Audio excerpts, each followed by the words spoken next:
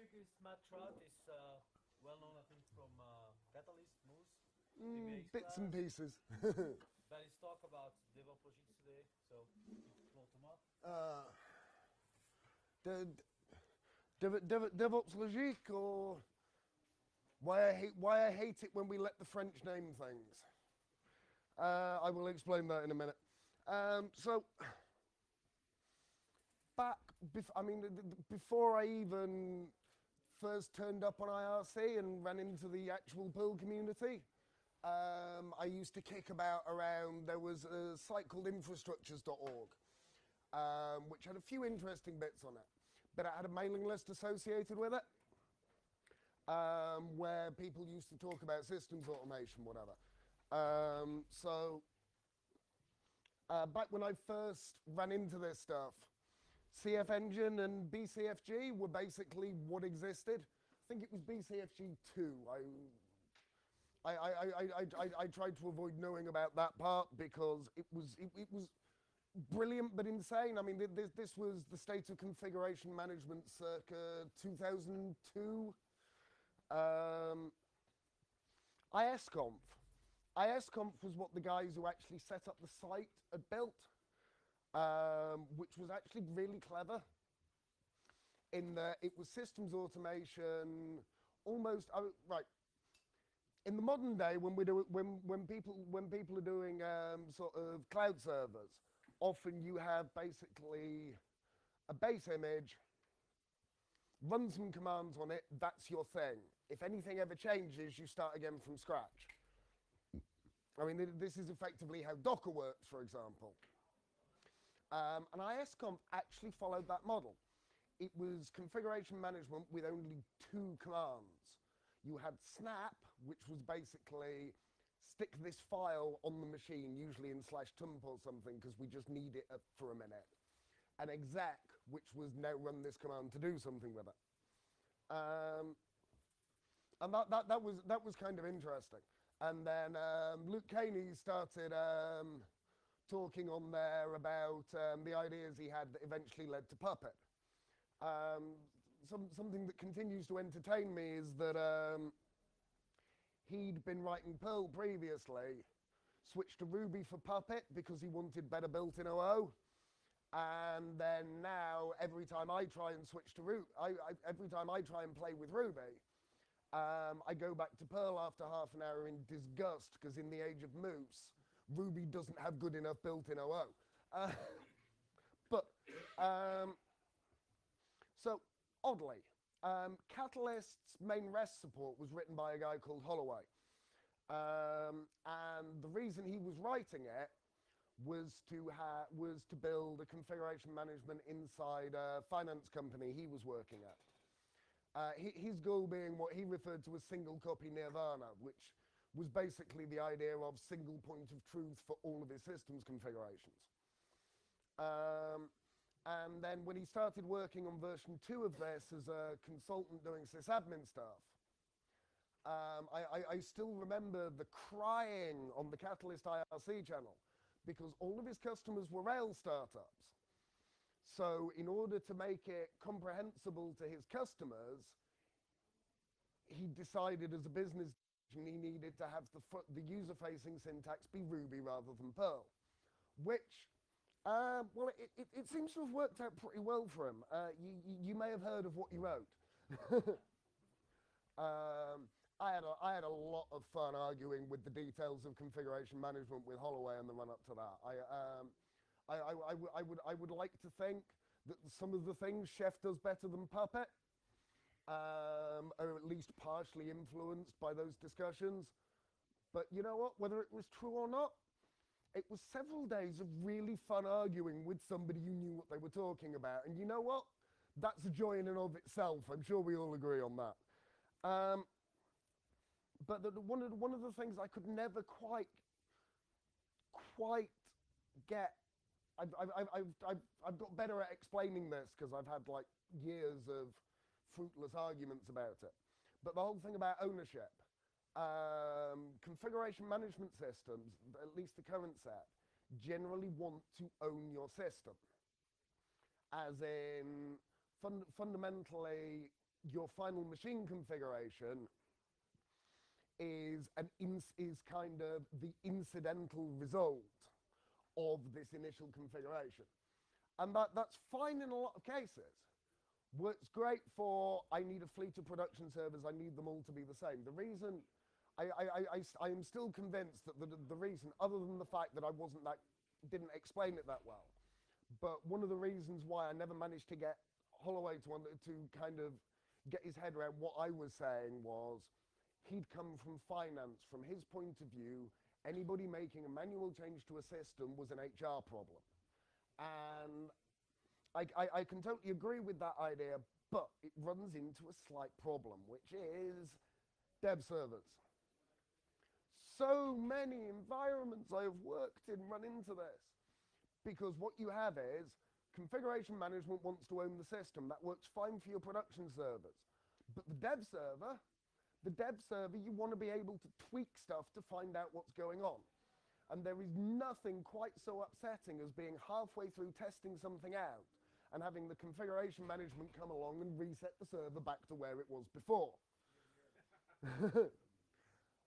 so what ends up happening is people turn it off on the dev box. And now dev and production are diverging. And oh, it just drives me insane. The, the host file is, is, is my critical example of this.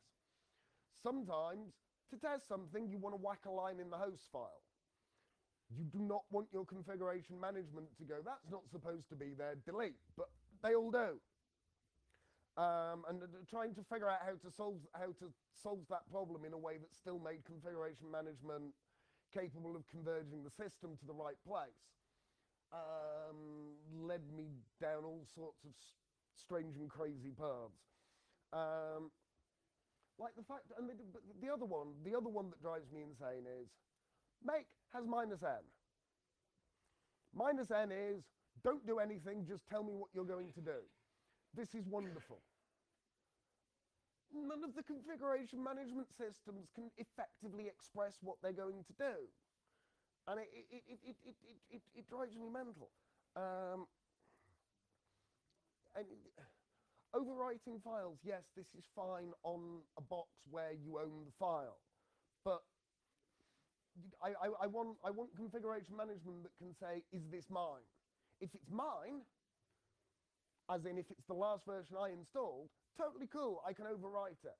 If it's changed, yes, overwriting it is an option, but there are other options, like leave it alone, or, you know, for the finance environment, raise a ticket with HR to fire the person who changed it. Because uh, tickets are a valid form of automation in a, in, in, in a lot of respect. Know, if, if, if you're dealing with real hardware, somebody has to go and rack the thing. And a, software cannot rack a server yet. Um, okay, yes, yes, cloud, cloud, cloud, cloud, cloud, cloud, not the point. Um, I also ran into Nix. Nix is fascinating. If, you, if you've not looked at it, please, please look at it. It's really cool. Um, the idea of Nix is to be a pure functional build system. Um, so it has an expression language, and the, the, the idea is you treat um, your installed package as this is the result of this function called with these arguments.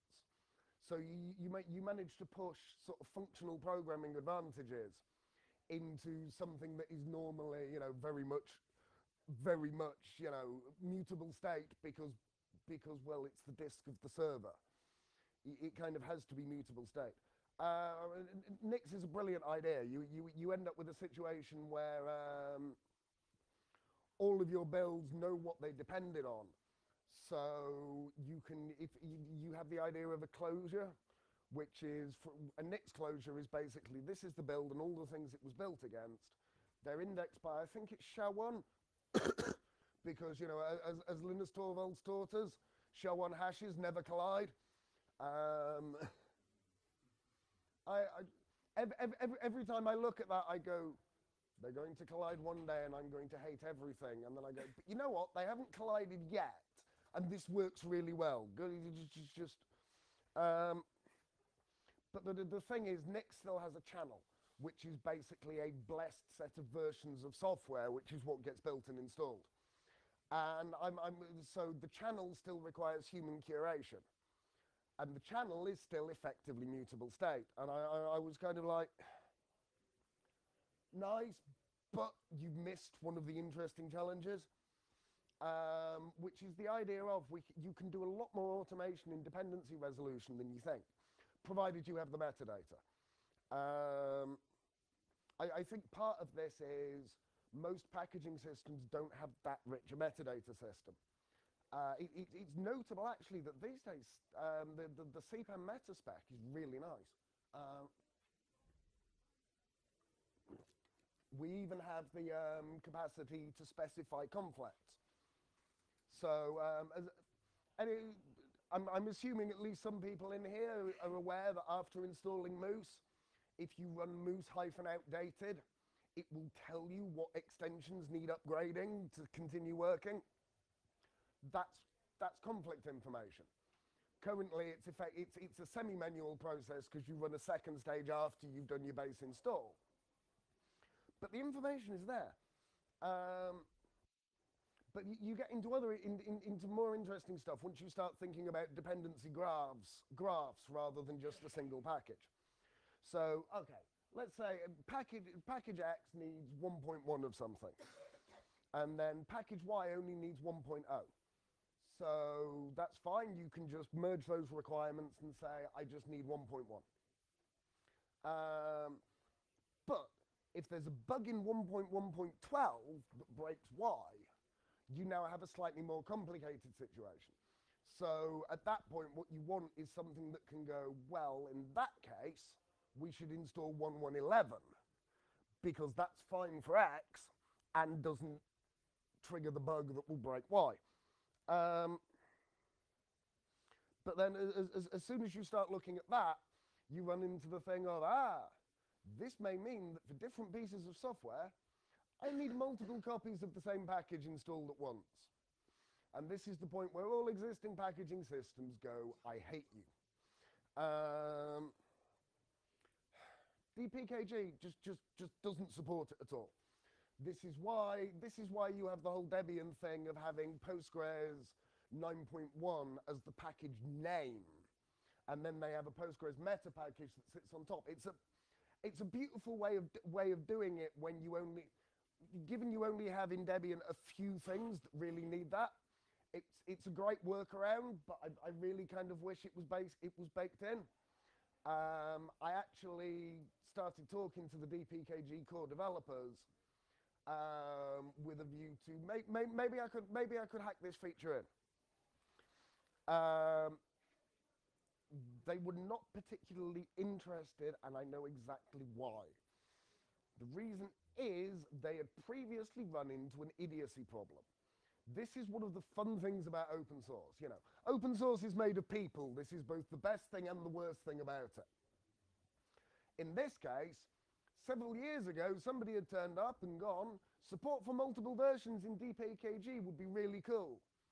And a couple of people went, yeah, that, that might not be a bad idea. And he went, and therefore I will implement it. But at the same time, because I have decided that I am right, all Debian packages need to be renamed to follow a different format to fit my vision of how multiple versions will work. Uh, no!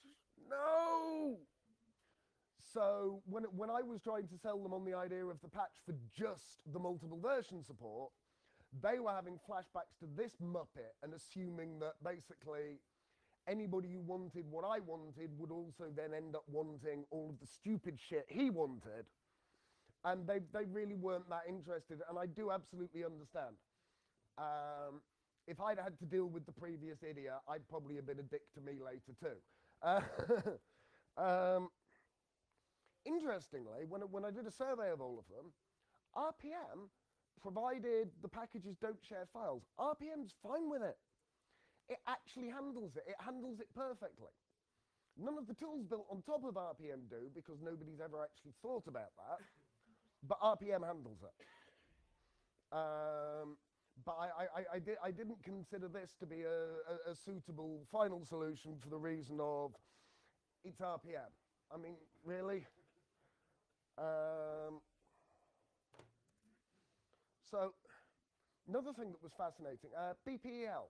Did back back back back back in the days where when when people there were still people alive who thought soap was a good idea. Um, I ran across this idea, business process execution language. It was a giant XML spec, but it had the interesting idea of understanding that if you are coordinating across half a dozen different web services, something can fail. You don't have transactions across a system that distributed. Um, and it, so it, the, the idea was to orchestrate calls between different services. Um, and it had this idea of a compensation action that I thought was fascinating, which was basically we can't just call rollback, but if we get like four steps in and it fails, we probably can go and cancel at least a couple of the early steps. And it, it had that baked in as a core concept. And I thought that was really clever. Um, but uh, um, going back to minus n. Um, oh yeah, here, here's here's a here's a truly odd thing.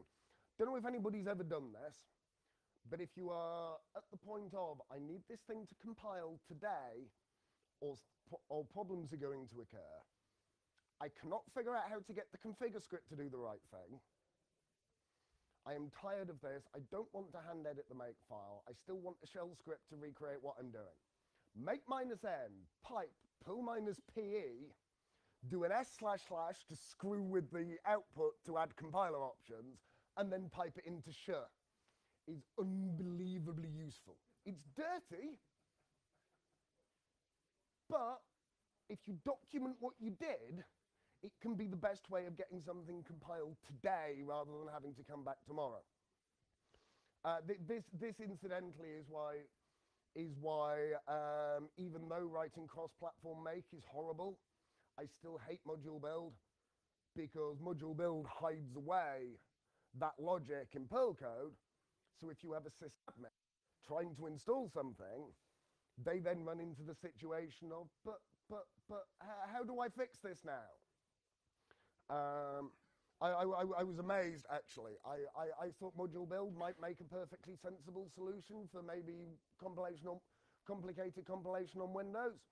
And I was at the German Perl workshop one year, and three German sysadmins stood up and interrupted me mid talk. Germans stood up and interrupted me mid talk. It was sufficiently important to them to, do, to say this. And I'm really glad they did. And their, their comment was, We are Windows sysadmins. And while, yes, make on Windows sucks, we know how to debug it. Please use MakeMaker. Uh, um, I think, honestly, long run, somebody's going to need to write the equivalent of SQL abstract for make. Um, not it. Anyway. Uh, so in, in, in, in, the, in the process of, wondering, by the way, I, I'm, I'm aware that, that, that this is kind of a long rambling thing of different bits and pieces. That's because it's been a long rambling journey towards trying to find ideas. I, I, I, I, I, I, I, I do promise you in the second half I will get to something approximating a point. Um, but may not be a good point, but it'll be a point. Anyway, um, so Haskell. Um, okay, I have never actually successfully written a Haskell program. I will absolutely admit this. I'm, I'm sure there are many of us who've, who've, who've tried and not quite got there. Um, at least with C code, I, I've, I've now got to the point where I can reliably produce something that compiles and then immediately segfaults. Uh, yeah, yeah. If, if, if, if, if, if you want if you want to know why why why and you know Stevan even had a slide. Devel every day I'm segfaulting declare. Yes, I wrote the original C code for that. Yes, it's exactly as horrible as I'm making it out to be. I am incredibly glad that it demonstrated that keywords were useful enough that somebody competent implemented them in core. Uh, anyway, um, but going back to the whole functional idea, okay, Haskell actually maintains purity, but can still do I/O. Um, There, there, there was a recent article saying you should call it the IO type, not the IO monad, because otherwise people go away, try to understand monads, get stuck, and run screaming. Which I did about six or seven times until I happened to watch a Haskell tutorial by Simon Peyton Jones, who, you know, GHC guy, genius. Also, academic background, good at teaching, successfully explained it to me.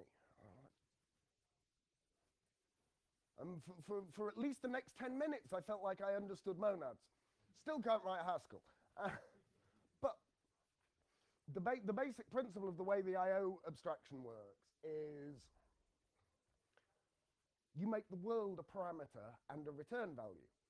So basically, you have a function that, say, prints a line. The way you keep it pure functional is it takes as an argument an old world consisting of the entire state of the universe beforehand and returns a value representing a new universe which is exactly the same as the old universe except in this new universe the line has been printed. Brilliant. Uh, you know, if, if, if, if, if, I, if I was smart enough, maybe I'd be a Haskell programmer. Uh, anyway, fantastic idea. Um, and then, then, then, then from there, I, I, I fell over Prolog, um, which is the reason for the talk title, because Prolog is actually short for Programmation Logique, um, because it was invented by crazy French people in the 70s. Um, but it's, it's a fascinating idea. Prolog is a logic programming language. So every, it, it's all declarative and it all talks about um, go for an example. Um, if you have a predicate, which is what you have instead of functions in yada yada, um, installed is your predicate name. Server and package could both have values or not. So um, the idea is, is, is to is the yeah, no. I thought I had another slide explaining that. I didn't. I'm stupid. Never mind. Um, the idea is if you say installed some machine, some package, it either says yes or no. However, if you say installed some machine and package is a new variable that doesn't currently have a value, it will give you a return, one, one return value per package on that server, and you end up with a package listing. You can equivalently call it with a package name, but no server name, and it will tell you all servers it knows about where that package is installed, um, which I think is a really interesting and powerful concept. Because um, the, the, the, the, whole point is what you, what you basically do is declare a list of things that need to be true to have a valid solution, and then it goes through the different candidates it has and returns you combinations where those things are where all of those invariants are true. Um, which is really interesting. If, if, if, you're dealing with sort of scheduling stuff or similar, it's well worth having a look at Prolog because they've been building insane scheduling systems and combinatorial stuff for, well, since the early 70s. Um,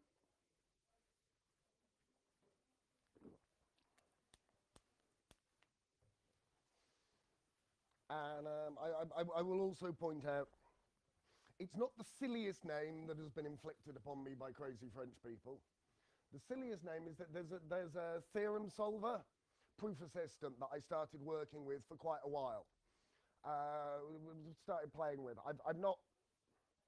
Th this is another one. I played with it. I never actually did anything real in it, but stole a bunch of ideas. But the proof assistant is called COQ. I am English.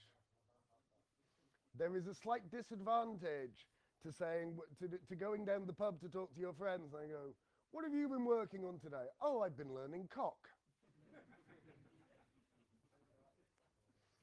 I, I, mean, then, then, then, then, then again, um, Rafael Garcia Suarez did point out to me at, at one point that um, my, that my initials also in French work out as Mélodie sexuellement transmissible.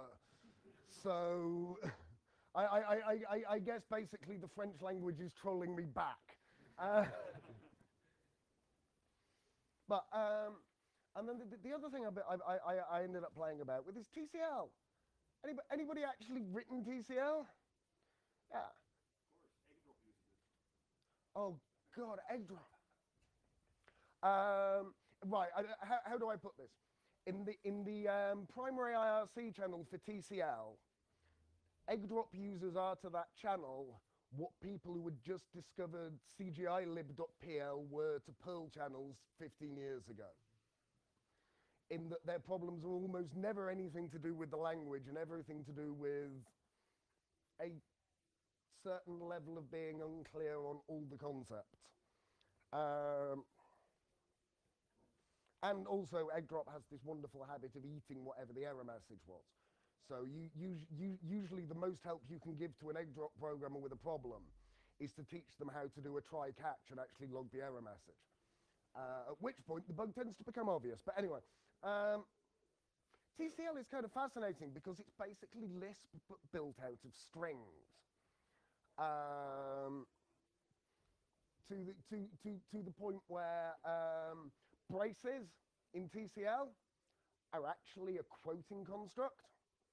So if, if you see if you see in TCL if condition block, the block is just a string. The way that the way the if statement actually works is it only evals the string if the condition is true. This is not as terrible as it sounds because TCL was built to work this way. So basically, the, the internal value ends up um, getting tagged with the compiled representation, so you're not actually doing string eval all the time. Um, but it, but it, it meant, and th th this was the point at which I fell in love with TCL because it took me about five lines of code to add unless. And I, I, I, get upset every time I have to use a language without unless. Um, I, I, I, I, I, swear, one of, one of the main reasons I fell in love with Perl, I think, is that my parents are both English graduates. So I, I, I, have a, I have a certain love of language. And having to say, if not, just irks me. Um, I still, I, I, still don't understand why the rest of the world doesn't have an unless statement. It just makes code so much nicer. Anyway, um, and okay, the um, come back to okay, yeah, Perl. Um, you know, it, it, it, it, it, it it's the Swiss Army chainsaw. It's new. I'm going to build it in Perl first just because I know I will be able to bend it to do what I want. Um, I, I, was I was I originally um, gave okay it wasn't this talk exactly but the, this couple of slides was a Unix sysadmin conference, um, which meant the next slide um, really did confuse some of the audience because people were going no that, that, that doesn't make any sense at all I'm like well okay but that just means you haven't discovered Moose or you know Moo, my half-size cut rate knockoff of Stevan Little's work. Um, and I, the, the, the fascinating thing is you, you then get a bunch of people going, ah, it, it can't be that good. I'm like, well, if it isn't that good, why are people trying to port it to Ruby? There is a MooseX gem that provides a has statement in Ruby. Next time I try and use Ruby, I'm going to use the gem. I might actually not get put off by the shitty OO and be able to write some code. And even the Python guys have tried to port Moose as well. So, you know. Um, I think it was people who would u- who had used Perl somewhat and then ended up on another language and went, fuck me, where are the features gone? Um, and decided that in the in the grand spirit of open source, the answer was to steal the features. Uh, and I, I, I, I, I, wish them the best of luck. Uh, but um, come come back to Make. Um, I did actually at one point seriously consider trying to do systems automation stuff that was driven at a top level by Make. I mean, I, I, I, I do I do it for small scale stuff all the time, but I, I'm, I meant like a complete system because um, there's a thing called Make PP, which is a pure Perl implementation of Make. I was thinking, hey, maybe if I embed this and I go from Perl to Make to Perl to Make to Perl to Make. Um, and then my dealer got in a new shipment of drugs that weren't tainted with whatever made me think that was a good idea. Uh, and also, I hate tabs. Tab characters can fuck off, die in a fire covered in bees. Um, my, my, my editor has a tab stop of eight. I use two space indent. I hate eight space indent. But if you don't have your tab stop, tab stop set to eight, you can't source dive the Perl 5 core. Because, well, yes, we are now on Git. The Perl 5 core is a mixture of tab indent and eight space indent. th- there, there is a part of me that would really quite like to write a script that goes through and just fixes up all of those commits. And then the rest of me goes, no, don't do that, don't do that, don't do that, it will hurt. Anyway, um, this is also a really important lesson in terms of the, uh, when, Stevan was talking about um, future backwards compatibility, the guy who wrote Make, he realized that tabs were a mistake. He realized it about three months in. The thing is, there were half a dozen guys in the same office as him already using it. And he didn't want to break compatibility for them. So, in order to save those six guys rewriting their make files, the entire world has suffered tabs for the rest of eternity. possibly the wrong choice there in hindsight. Um, never mind. We, I, I, I- think any, anybody who writes a piece of software that unexpectedly gets popular runs into this. Um, I, I I can think of several things that I did in DBIx::Class that in hindsight I should just have broken about eight years ago before like half the world was using it. Um, of course, you know, now, now, now my solution to this is all of the mistakes are, all of the mistakes are my fault, but fixing them is ribasushi's problem. Thank you. uh, anyway, um, but the, the, the, the debuggability of makefiles is really impressive. Um, and also, because you have the minus n, it's predictable. It, it can tell you what it's going to do. Once it's going to do the right thing, you tell it to do it. Um, and it keeps doing it. And they, which means that, you know, okay, debugging makefiles is still annoying, but it's a lot better than a, te- than a debugging cycle that is, um, one moment. Can, can, can somebody tell me, is this supposed to be a 40 minute slot or a 50? Anybody know? Sorry? Cool, that's what I was hoping for. Okay, um, so, you know, every time I try and discuss any of this stuff with people, because I'm talking to different language communities, the first answer, the first question I get from most people is, You're using what? Because, okay, most Perl people don't really get TCL. TCL people definitely don't get Perl. Um, well, um, and then, and, and, and, and, and uh, as for the Prolog people, well, I mean, honestly, my first thought was, wait, there's still a Prolog community? There is. Um, hash Prolog on Freenode um, is actually relatively active these days. It's mostly people taking it at university, but there's some really interesting conversations that go on in there. Um, so, um, what, what, what, okay, th- th- this may be influenced by my having a pure maths background, but my thought was, what if I try and do configuration management around a metaphor of equation solving? Um, so you start off with a set of goals. This is very much stolen from Prolog. Um, So you might have a goal like web server running on system. So if, if it's up and answering port 80, that's true. If it isn't, that's false. Um,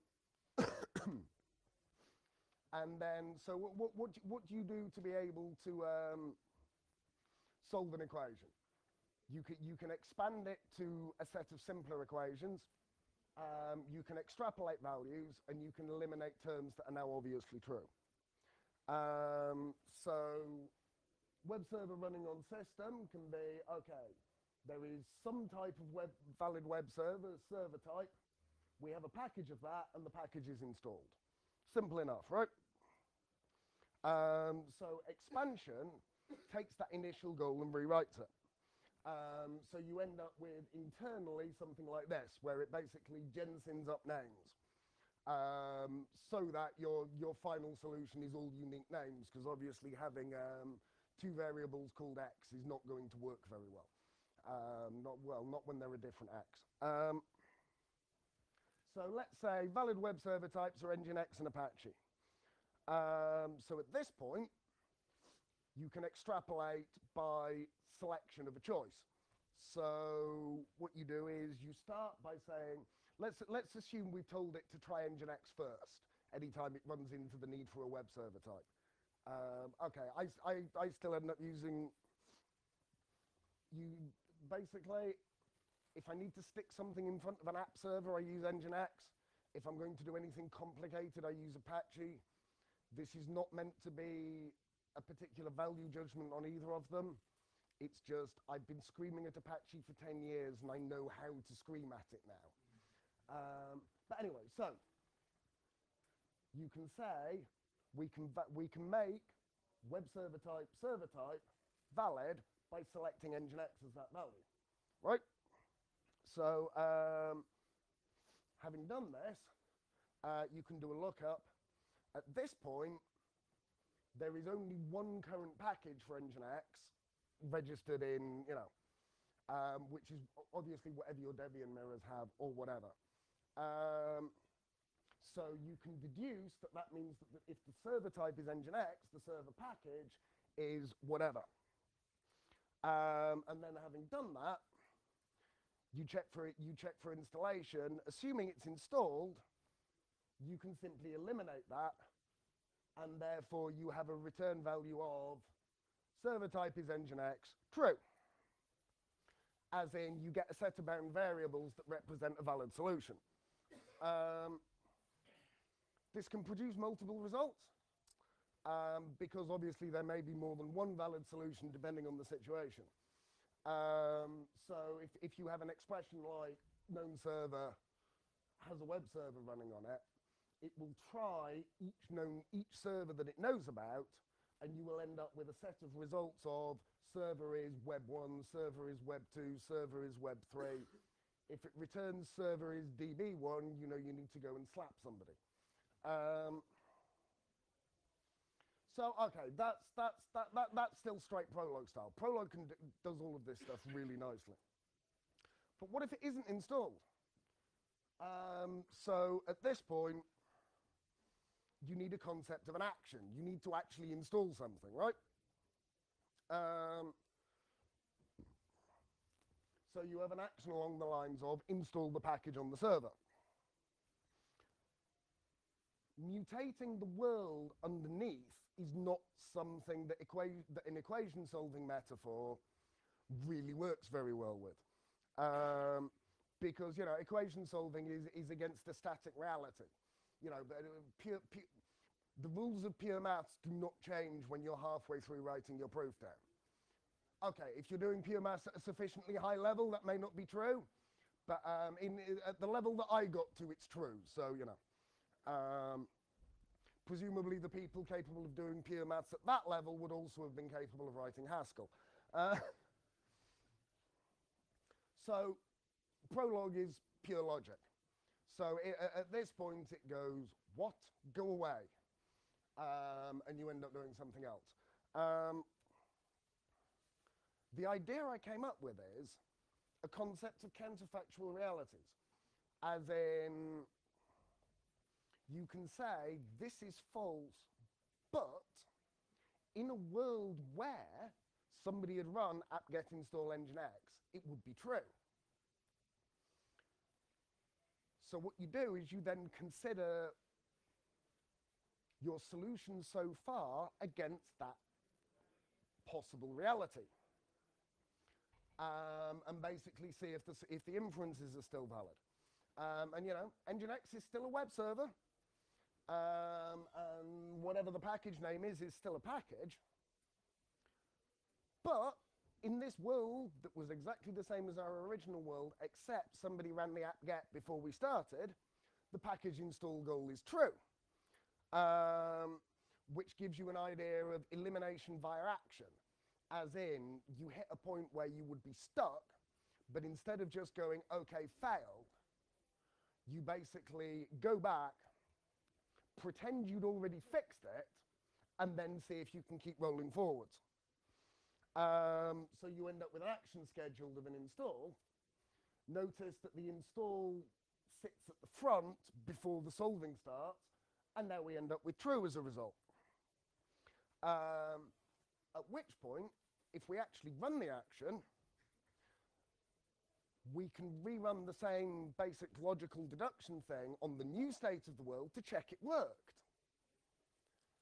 Th- th- This, this is where I get my minus n out of it, basically, because I end up with a solution that is a list of actions required, and once these are done, this will be a valid solution.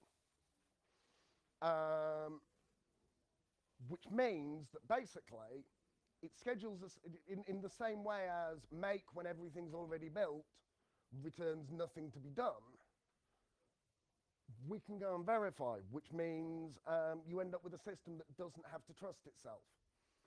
Um, slightly more complicated becomes becomes um, producing complex data.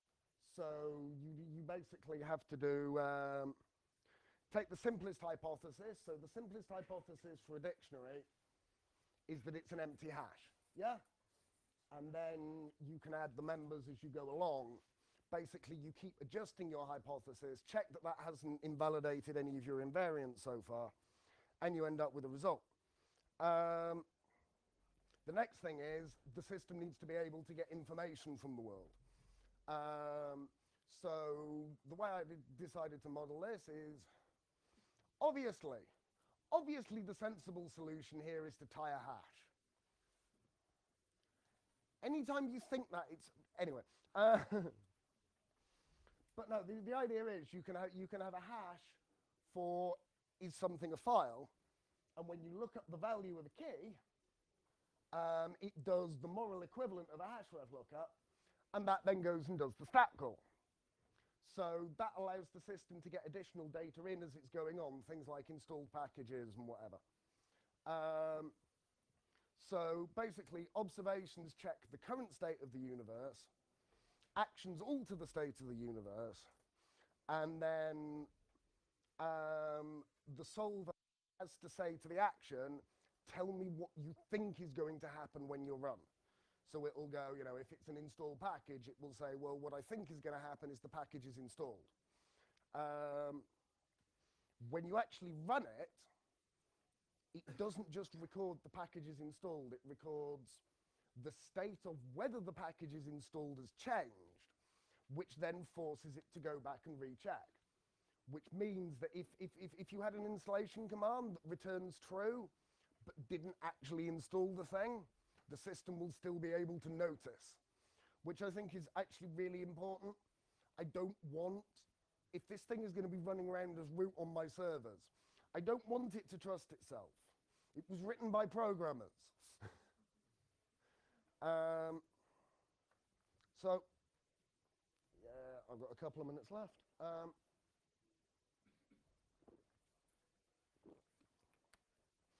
a, a- a possibly more obvious example. Um, so you, you start off with a dictionary that gives you the pause index, which is basically packaged by, which is basically populated by ripping data out of the um, packages.details file. By the way, if you can't, if you can half remember the name of a CPAN module, doing a zgrep on your cpan.pm's 02 packages file is really helpful.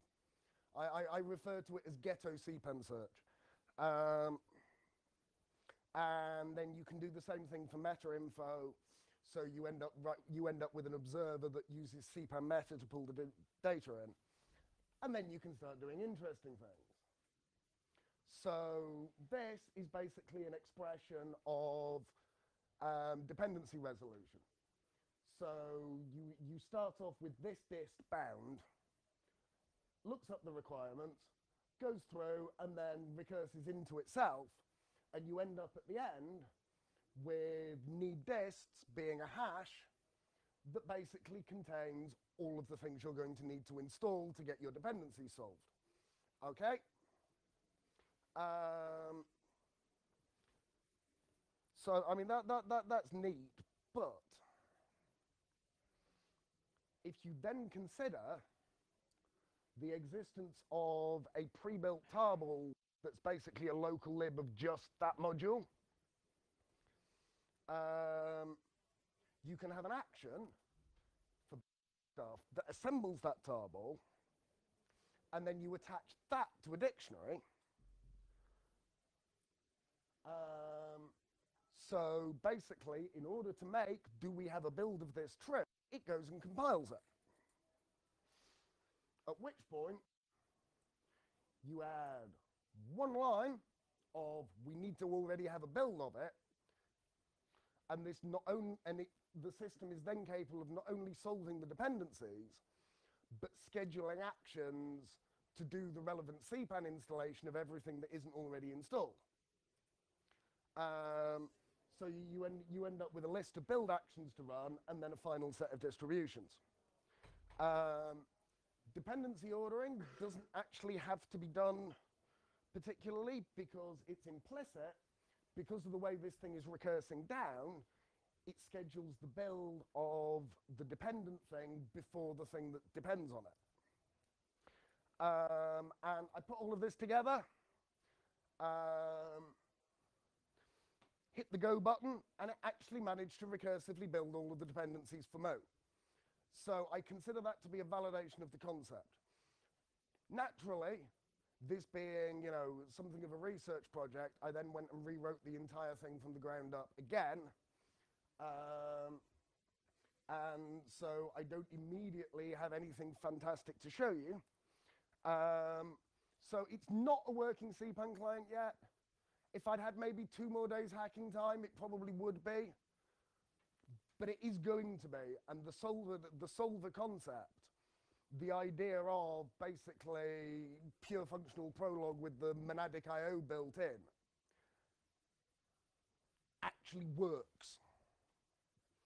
Um, if you keep if, if you keep an eye out, I will be blogging about this as soon as it turns up.